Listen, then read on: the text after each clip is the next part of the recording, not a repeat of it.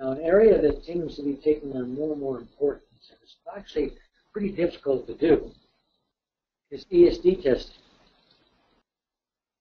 You know it's electrostatic uh, discharge. Incoming component handler through user in the field. For instance, examples are a loose slot machine, right? You walk up to the device are susceptible to ESD. But the interesting thing about this, and maybe a lot of people do know, maybe they don't know, is that these slot machines are all networked together, aren't they? Not only are they networked together, they have software that goes out and looks to see how it's paying off. And if it's paying off too much, they actually change the characteristics of the slot machine so that it doesn't. And of course, if you have ESD coming up, people walking up to this all the time, you're going to have these sparks and issues, and they could cause that not to function properly. Pretty interesting how they uh, do that. And then, of course, even within the uh, casino itself, they'll see, we want these machines to pay off a little more. People see this, and it sucks for them. That's the one by the front door, any entrance area that they might have. Now, a printer uh, is a finicky printer in the sense that if the ESD has destroyed some or actually wounded some of the components or caused the component to work wrong, it's not going to work properly. Now, I mentioned that one thing before in another class that the line printer actually you'd walk up to the line printer and you'd take and push the button to go offline. The line printer is a big unit. They still use them. Not everything's done with laser printers. Big line printers are used still. So what happened is it would not eject light. it might damage the part and things like that. So you've got to look at that. So what we're saying here is these tests are a mandatory requirement for the CE mark, ESD test. They aren't necessarily mandatory anywhere else. So the severity actually is looked at the different levels, and what will happen is, is that you'll actually get a level defined for the type of equipment that you want. Level 1 type, level 2, level 3, this tells you the kilovolts that need to be applied. We're talking about contact discharge. Contact discharge is where you actually have the static gun, you walk up to it or pass it up to it at perpendicular angle and actually touch the equipment. The thing about it is, is you don't just touch it in one spot. you touch it all over the place. Then there's another discharge, air discharge. You'll actually touch a, uh, a conductor that's away from the unit a certain distance. You get a spark in the air, and that's for radiated emissions, isn't it? Not conducted. So let's take a look at an ESD generator design. Here's our DC high voltage supply. This right here is a actually you charge. And what will happen is that this particular capacitor will charge up. Close this. And then we take and have a discharge switch. That capacitor then will discharge through this effectively resistance into that unit. Now what you have is you have two types of tips on these guns. You have a very curved air discharge connection tip, and you actually have a tip for contact discharge, which is extremely sharp. you could hurt yourself very easily with this. and this is where you actually contact it. And the reason it's so sharp is that they want to get a good contact, whether or not you're perpendicular or not. You're just a little, little bit off because you're working with humans specifically on. this is a photo possibility that you would have.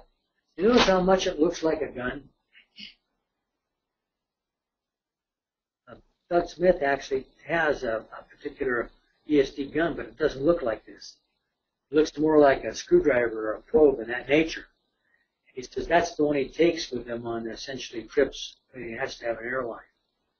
Because if he takes it with this one, they end up thinking it's a real gun and there all kinds of hassle at the airport. Wondering what's in it. If it says ESD gun on it, then they really uptight about it. They make sure that the title is very different.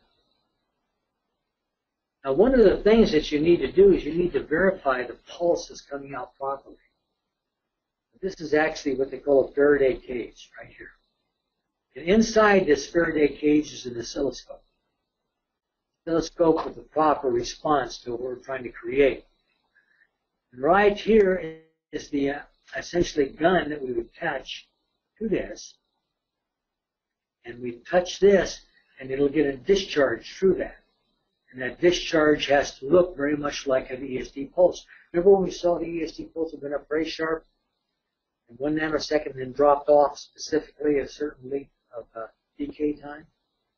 Well, your gun should be checked for this. Now, one of the guys, it was a class, said, do you check your gun very often to see if you're getting the right response? He said, no.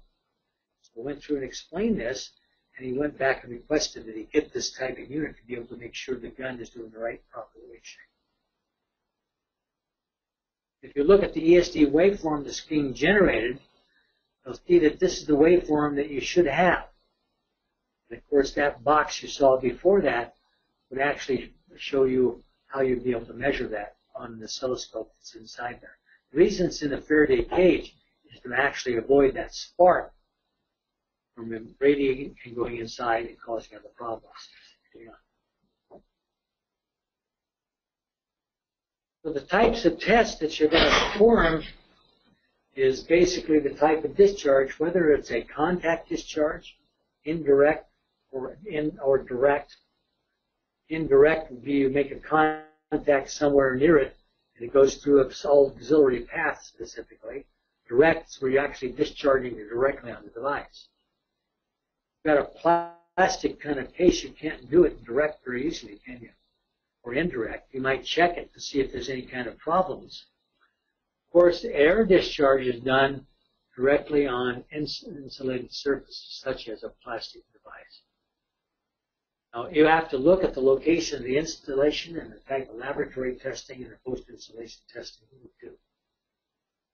do. Here's a kind of a bench layout of what we're looking at. And there's a lot to this. Remember, the spec defines this. The spec shows you this diagram.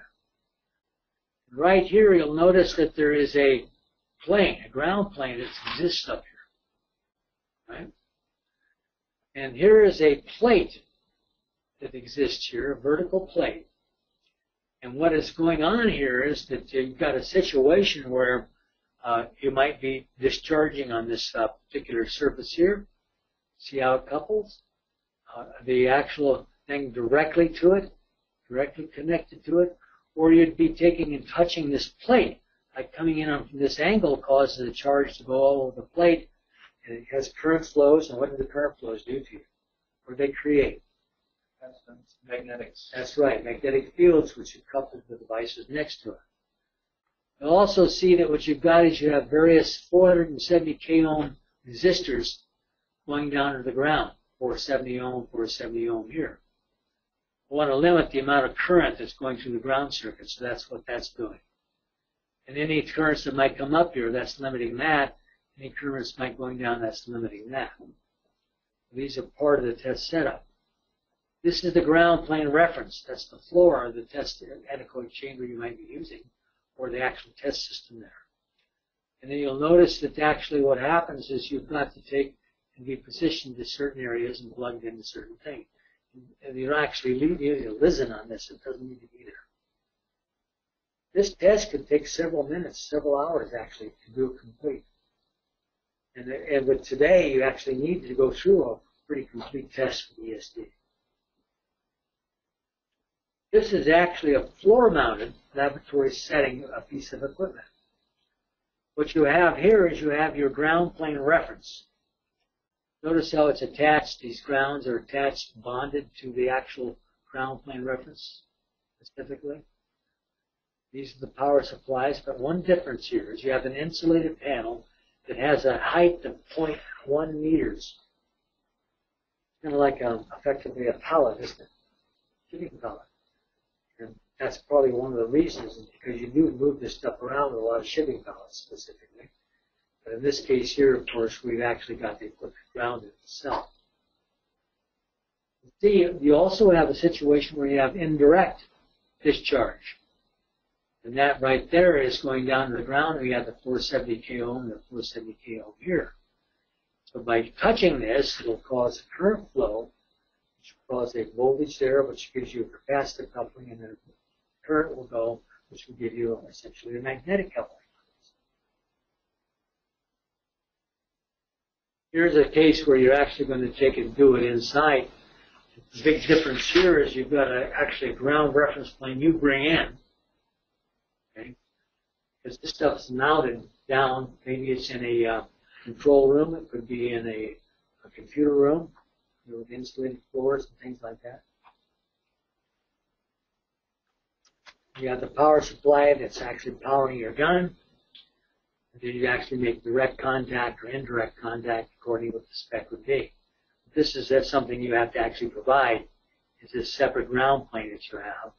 Notice it is 0.1 meters wide from there, 0.3 meters wide, and this is 2 meters wide. So you actually position this in front of the equipment as you're testing it. As you're testing these boxes here, if you're going to test this, you actually have to move it over to that point.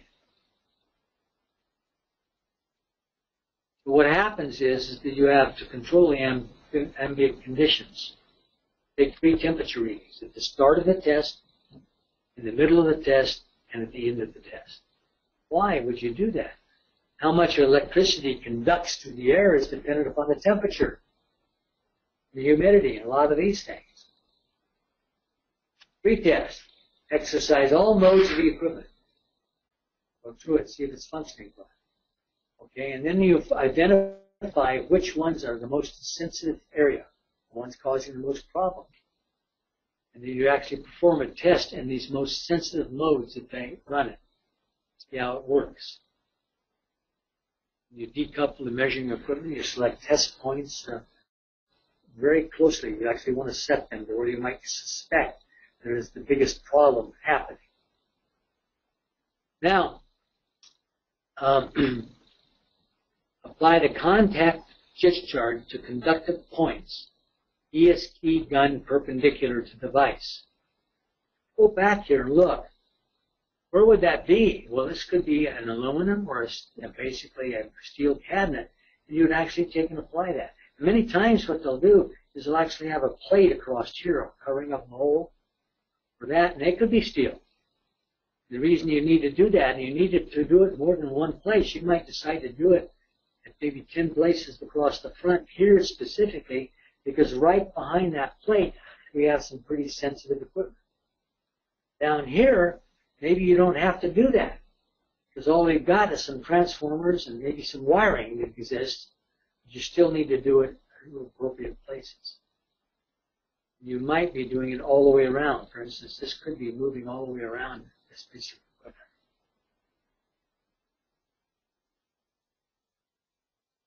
Apply contact discharge to conductive points. Apply air discharge to non-conductive points. In the cabins today, a lot of this outside right here, as far as that goes, happens to be a um, kind of like a plastic coating on the aluminum or it could be effectively anodized aluminum, couldn't it? So we're talking about air discharge being applied to areas, and typically a plate is put in front that's grounded, and then when you touch it, it causes that to happen. So you've got to look at that. So you can see that actually ESD testing is not a quick process. It can take lots of hours to do, especially on the first unit. And through this testing, you might have identified some critical areas which you have to go back and retest under different conditions. And document all the details. So we mean by documentation, we're talking about, well, one thing is you need to actually have, most companies will have a form set up where they document who's present, what the actual equipment is, what this is involved with, uh, problems they might have run across, of stuff that they've done, and then you actually use your digital camera for lots and lots of pictures. Lots of Not much more to say. Have you been involved with DSD testing, Jacob? No? Not a lot, no. How about yourself? Not really, no. But you can see that with Luke's equipment, a lot of people touching, they should probably be involved with a lot of DSD testing in that area. But you're mainly to support use of the equipment, I suspect. We wouldn't do it, but that would be done.